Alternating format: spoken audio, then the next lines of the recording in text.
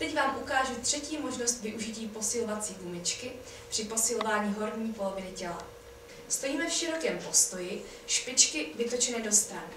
Nádech a s výdechem se snažíme loket dostat na línii ramene. Břicho je vtažené, záda dlouhá. Rameno tlačíme daleko od ucha. Cvik opakujeme ve stejném počtu opakování na každou ruku.